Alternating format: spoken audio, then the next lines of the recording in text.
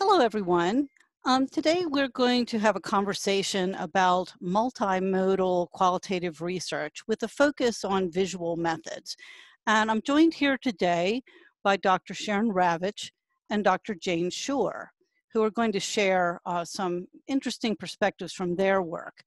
But before we get started, in case you are new to MethodSpace, I want to just uh, give a brief overview because this is a blog community sponsored by Sage Publications where we focus on all things to do with research design, the conduct and analysis of research, as well as writing about it and sharing results in both conventional and new ways.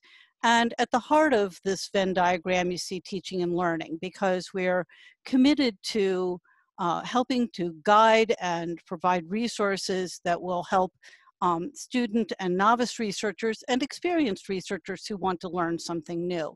So uh, we hope that uh, that will be uh, the case for you today. So um, Sharon, why don't you start by introducing yourself? Sure.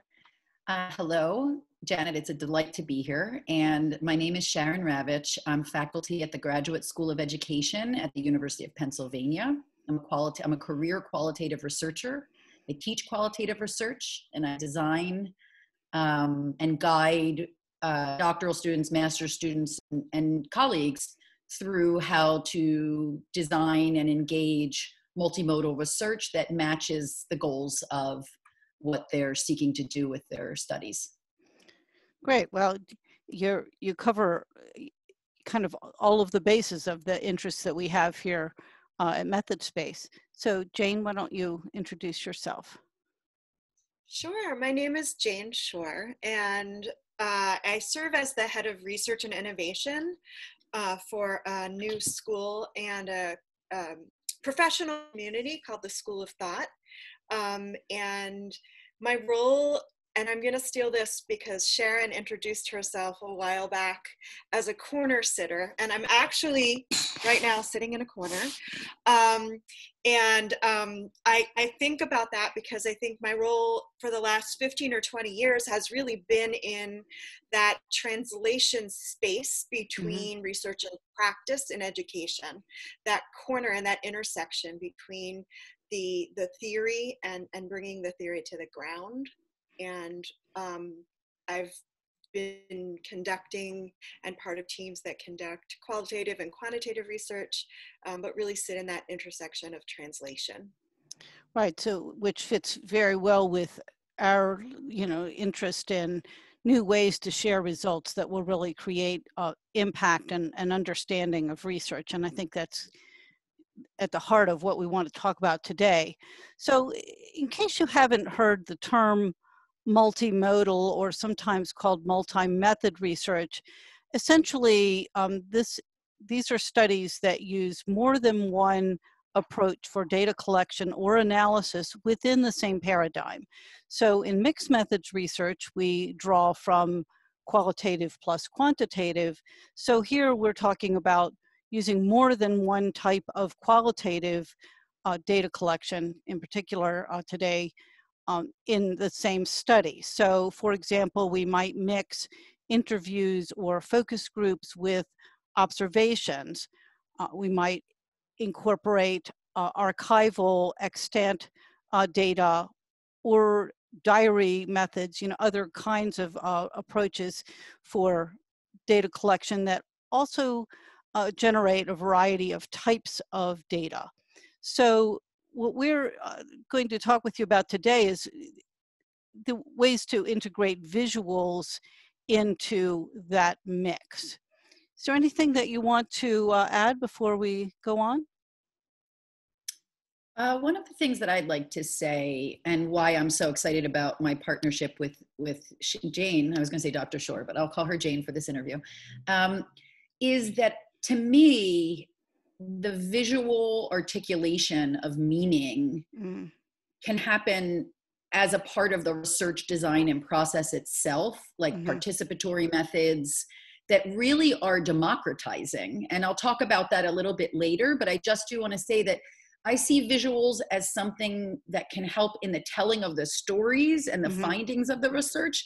I also think visuals are very generative within the research itself. Right. And Jane has really helped me think about the ways that we can democratize um, through using multimodal research, and particularly within that, really focusing in on how to visualize as a part of the research process and product. Right. Right. And Yeah, just to and I think you know it, as you say within the research sometimes if we're collaborating with other researchers uh, we're you know working across uh, disciplines creating some visual representations of our designs can you know help uh, everyone you know be on the same page.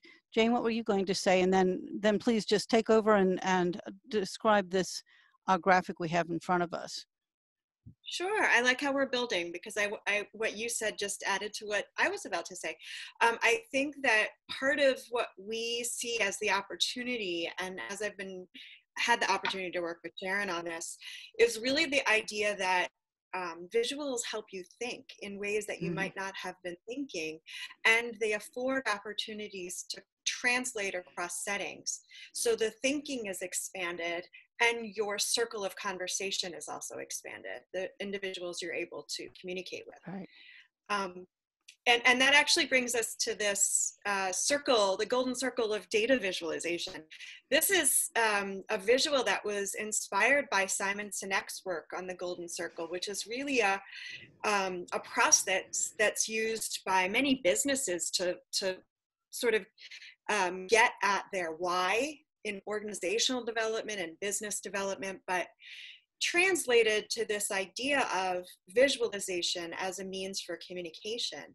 Mhm. And the, the framework that Simon Sinek uses in centering the conversation and beginning with the why is really useful, especially for visualization in research.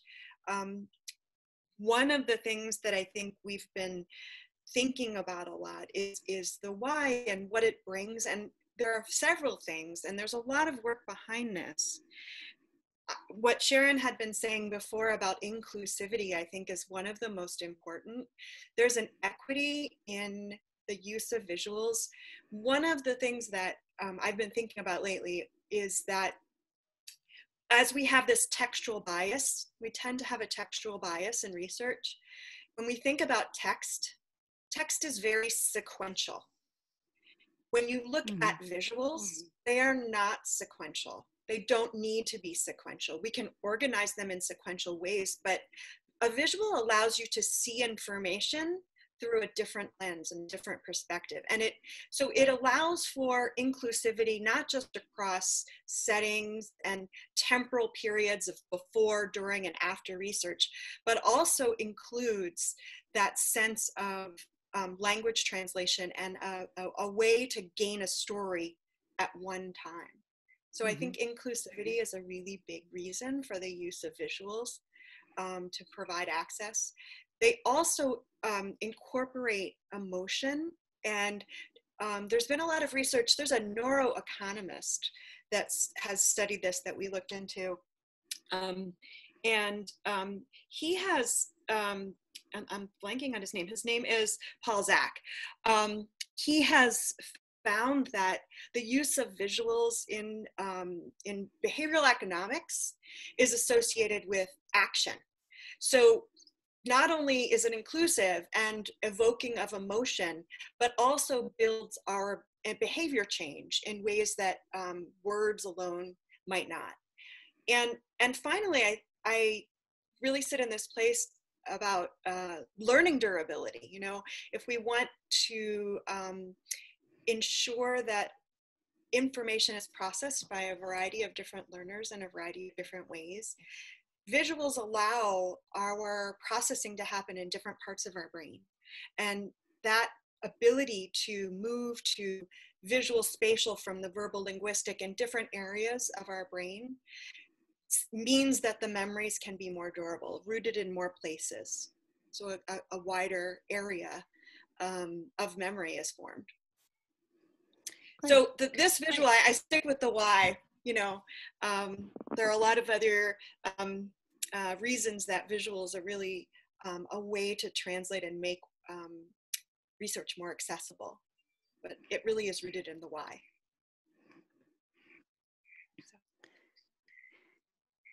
So move move on to this one. If once we've thought about the why, then this might help to guide us about creating visuals that will help us to achieve the kinds of um, assets that you've described. Sure. So um, when we move from the why, you know, this, this visual is really about the how. So if you're if you're thinking, well, there's a reason, there's a reason, there's a um, there's a big idea behind the use of visuals, but then how do I do this, and how do you make decisions about visuals? And I think you have to start with the subject first. You have to start with the data you have mm-hmm. and what the information is that you want to get across. So there are a lot of different ways you can do that. Some of them, the more traditional ways, can be really powerful. Um, this graphic was created to imagine that there are many different um, translations of research that can turn into visuals, whether they're mm-hmm. evidence and data driven or they're theoretical and story driven.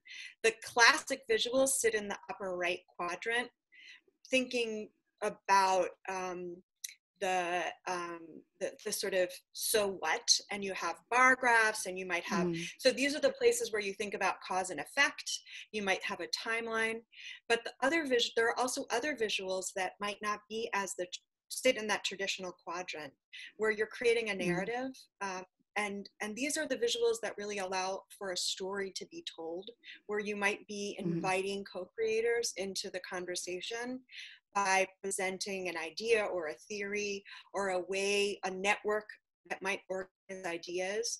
And um, some of these might be freer forms so that they exist in that exploratory phase, that phase where you're questioning, you're developing, you're co creating with individuals that are participating in the research. Great, okay. So Sharon, how, how does all of this uh, add into these kind of new ideas about how to proceed with multimodal qualitative research? Great question. And at a great moment, right, as we're also thinking about this COVID 19, everything is right now online, and folks are thinking about pivoting or shifting data collection or developing data collections. I really feel like Jane's um, Jane's conceptions and the idea that you that that visuals are generative, right? Language generates meaning, visuals generate meaning. And so creating structures and processes for collaborative research, whether you're researching, you're a lone researcher, you're in a group, mm. how do you have what Nicole Carl and I in our book Qualitative Research talk about as dialogic engagement partners? People mm-hmm. who you can really have as thought partners throughout your research. And what I've found um, since working with Jane is that really things that you might think you had shared understanding of because there were words on a page when suddenly you're interpreting mm-hmm. visuals together you realize maybe people aren't tracking on the same meaning of something mm-hmm. even more so across countries with different languages um, I've found. And and as well within that, doing participatory work in places where you often have a number of people in the same place who speak different dialects of the same language, such as a lot of my work in India, for example, where in, in Mumbai people speak both Marathi, Hindi, um, and and also English and Urdu, right? So there are ways that these visuals really can help aid the process and then also the pros the product of um, more equitable and critically inclusive uh, representation, which is something mm-hmm. that I think a lot about in, in my broader work and certainly in my research. So, in terms of this visual, this visual actually came out of a conversation that the three of us had thinking about this current conversation. And we talked about research literacies broadly and then specifically in this COVID 19 moment. And so I want to begin, since we have been talking primarily about mixed methods and multimodal research, with that, right? That in fact, a research literacy is to understand that your methods and your design map onto your research questions and the goals of your research. and so thinking about the ways that we have multiple data sources in qualitative research and perhaps multiple media or mediums media of those um, right? So we can have priority rankings and we can have surveys and we can have observation of naturally occurring groups online and we can have interview trans right? So there are these whole data sets that are what we think of as triangulated for validity right? Multiple data sets can help with validity.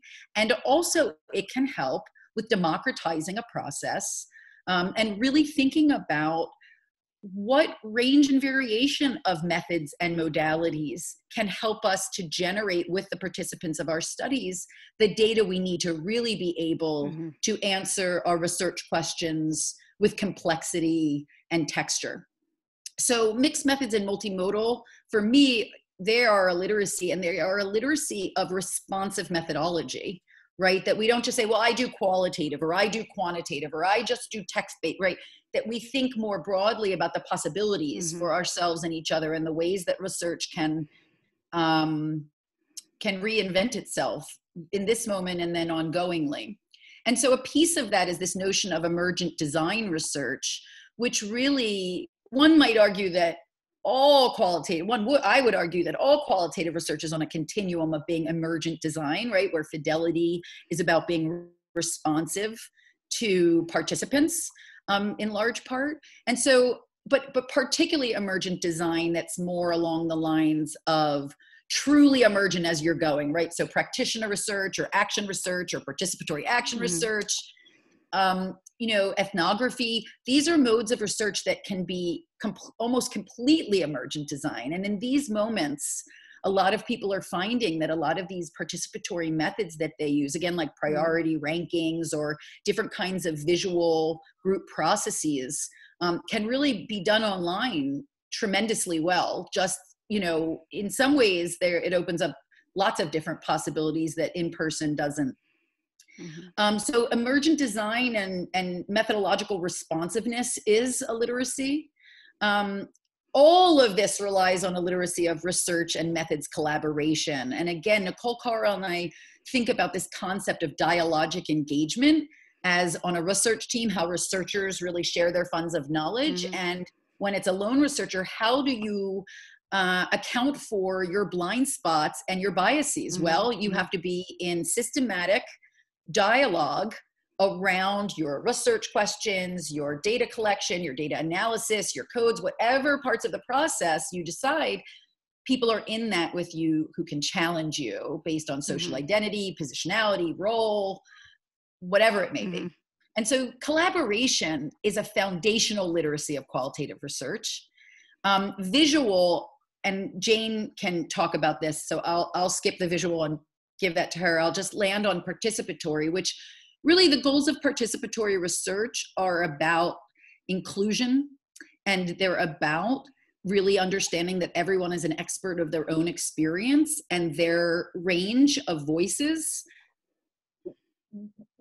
that the collective needs to co-create the conditions mm-hmm. for voice and agency to exist across um, a group and i would argue as a lot of um, learning scientists um, with whom I work would argue that actually this kind of screen where everyone is an equal square can actually serve to democratize and even out the visual optic of power in a group.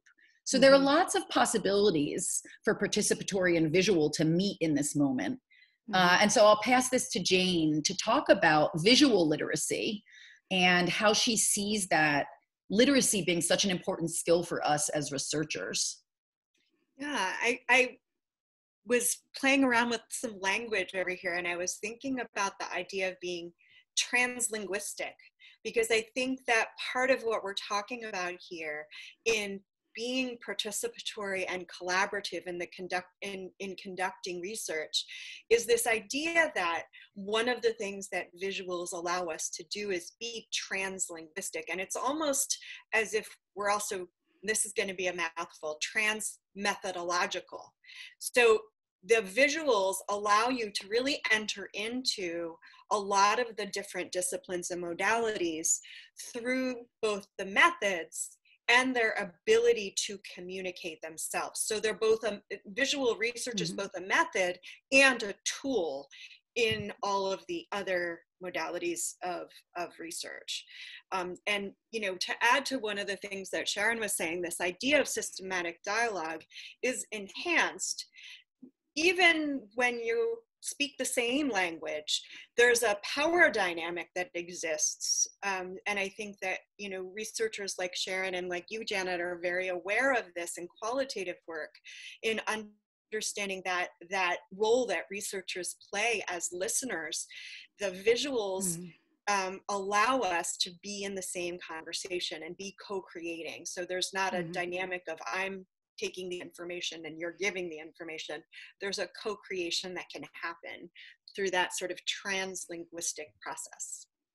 So I think in our, our discussion here about research literacies, we hope will motivate those of you who teach or guide researchers to think about the kinds of learning experiences and the kinds of examples you might set that will help emerging researchers to you know have this kind of more of an open-minded approach where you know in the past you know some kinds of uh, participatory research only used in studying communities or whatever to say you know let's break those down and and look for ways to use these methods you know in whatever kind of research we might be doing. So i want to just add a, a little bit more you know thinking in terms of how the visuals can fit into research. And in this um, typology that I developed specifically thinking about doing research online. And I think, you know, some of these principles relate, you know, whether you are online, in person, or perhaps some of each. To think about, you know, as you were describing the linguistic and kind of going beyond text and words, we can use visuals um, to communicate. So we can transmit them uh, either hand to hand or online um, so that we can share ideas and relationships, uh, you know, complex concepts, you know, in a way that is understandable. But there are other things we can do as well. So we can also um, use visuals to elicit rich uh, responses, either visuals that we've generated or visuals that are um, participants, you know, bring into the study. Uh, so, you know, that's, uh, you know, another way that, that uh, visuals can add to our data collection and, and give us both verbal and, and visual, you know, kinds of responses. With the new technologies, we can also navigate. So we can go into games or virtual reality or visually rich environments like, say, a video archive, and do participant observation, talk about what we're seeing, ask participants about their impressions and perceptions, etc.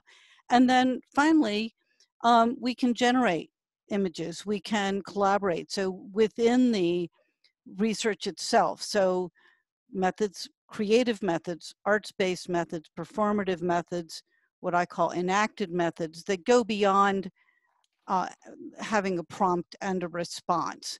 So, you know, lots of, of options uh, to think about depending on who you're studying and, you know, what kinds of questions you're trying to answer. And these kinds of approaches can be used whether you're doing something that's very structured, where you want to get responses to the same visual stimuli or use the same kinds of um, experiences across a varied group of participants or where it's very unstructured where we're just opening it up and you know kind of generating seeing what comes. So you know that i think goes to the inclusiveness.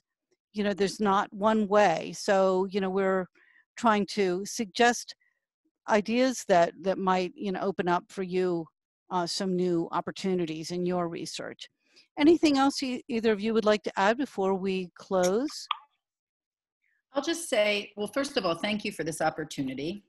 And what I'll say is, as a researcher who did not consider myself particularly adaptive outside of doing participatory work in my international mm-hmm. applied development research, I've found um, through working with Jane and really seeing how she interprets through the visual, right, which is not the way my brain works. Um, in this, you know, in, in a certain sense, is has been revolutionary for the Mhm. way that I think about doing what I do and for how I try to support and create the conditions for my Mhm. students to learn about multimodal research. And so I've, you know, this past Mhm. semester brought in a number of very senior doctoral students who could really talk about multimodal research. And so it revolutionized the way I'm thinking about it before COVID 19. And what I'd like to say is now I see Mhm. even more of a pressing, urgent need Mhm. for visualization to cut through the clutter. And one of the things that Jane has taught me is you can really get, if you're doing solutionary research, you can really get the message out in a bunch of different ways using visuals that you Mhm. otherwise would not, you know, as an academic, you know, not so much speaking just to other academics all the time,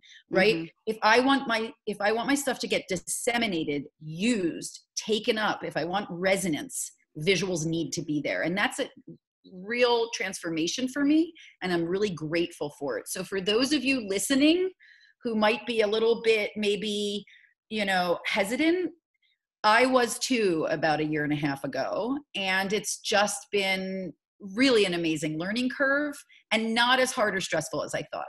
So I want to thank you, Jane, for really opening my eyes as a career methodologist to new possibilities for, you know, Mhm. not everything doesn't have to be so text focused, right? There are a lot of different ways to message what we're learning.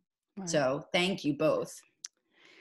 Well, I, I hope that uh, those who are viewing this uh, recording will look for some of the other um, related resources on MethodSpace about visual approaches and examples from very uh, creative uh, researchers who are trying out uh, different kinds of uh, ways of using visual interactions, visual data, and analysis. And look forward to uh, any comments or additions you might suggest.